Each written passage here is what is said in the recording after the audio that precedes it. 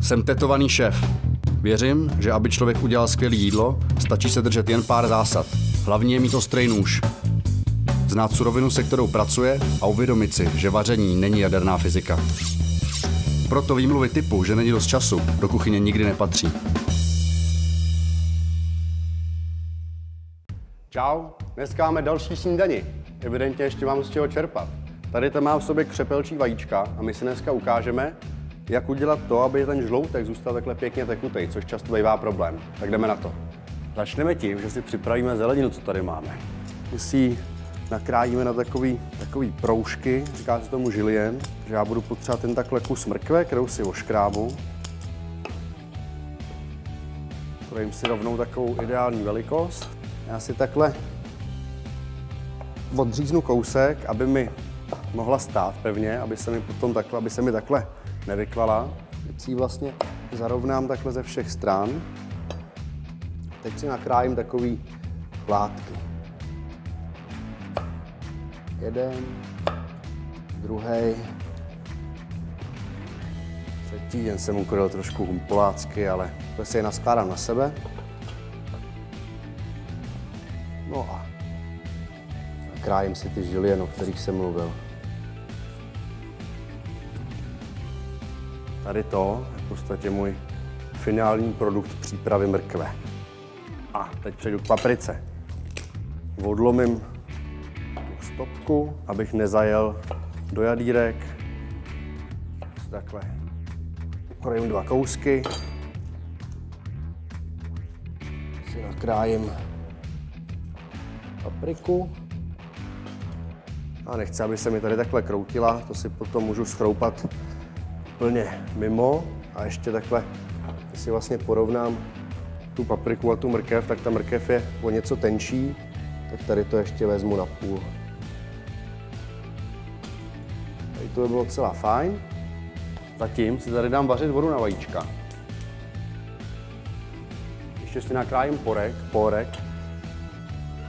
Jelikož porek je úplně konzistenčně jiná zelenina než paprika nebo mrkev, tak z něj samozřejmě nenakrájím takovýhle žilien. Naopak mi tam bude hrát spíš takových jako vláskách, řekněme. Já ho takhle jednoduše pokrájím. Zase ho nepotřebuju moc. Jo, takovouhle pěknou hromádku. Do té vody, abych na to nezapomněl, tak přijde ještě troška octu. A to proto, aby se mi vajíčka potom líp loupaly. On vlastně naruší tu skořápku. Teď ještě kukuřičky. Ty nakrájím takhle na půl a na čtvrtinky. Bezva. Teď. Voda se mi vaří, tak ji nechám vařit. Já si nejdřív chci udělat ten zeleninový základ. Zapnu si tady oheň pod pánví, tady ten vypnu, vím, že voda je horká, takže ji potom k varu přivedu rychle, kdykoliv budu chtít. Tam trošku olivového oleje, klidně můžete použít ty rostliny. Nechám ho trošku rozpálit. Já tam tu zeleninu chci jenom tak jako rychle ošlehnout. Si tady ještě seknu předem trošku pažitky. Pažitka u mě nesmí chybět skoro žádný snídani. Tak jo, volej už by mohl být rozpálený. Tak teďka všechnu zeleninu. Já tam párkrát prohodím.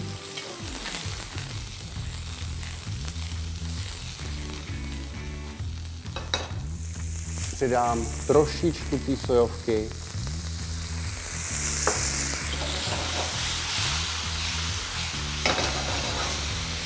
Klidně už vypnu plamen. To je ono. Je teplá, je prohřátá, povrch je trošku měkký, ale v zásadě ještě pořád klade odpor, jako kdyby byla syrová. Nepotřebuje to žádnou sůl díky té sojovce. Mně už se tady vaří voda na vajíčka. Křepelčí mají to vždycky trošku horor. Jak jsou malinký, tak mají tendenci se hrozně rychle převařit. A jelikož je nechci mít převařený, tak je v té vodě nechám maximálně dvě minuty. Opatrně si je tam takhle ponořím, mám jich tam víc, kdyby se mi nějaký rozbilo. Minutu a půl až dvě ve vařící vodě. Teďka ty vajíčka tam jsou už přes minutu. Takže já si tady dám misku, do ní si dám studenou vodu,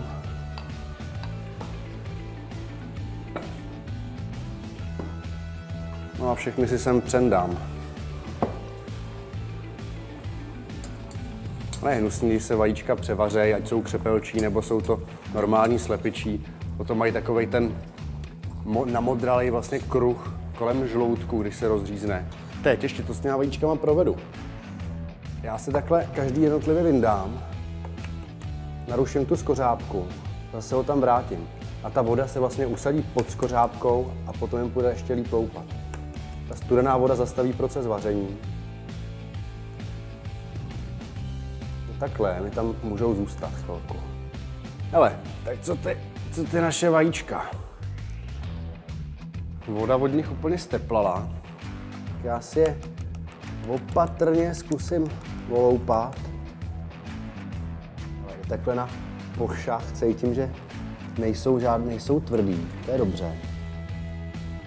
Loupat jdou taky celkem dobře.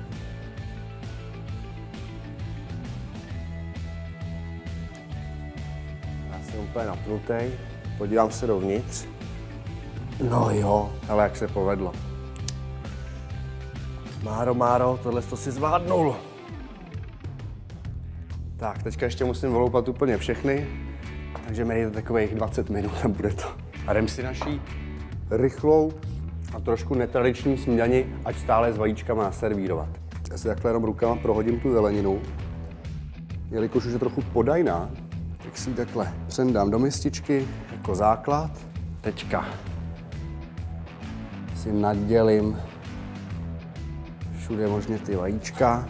Žloutky mi trošku vytečou do zeleniny. Trošku soli. Pepře. Pažitky. Trošku sezamových semínek.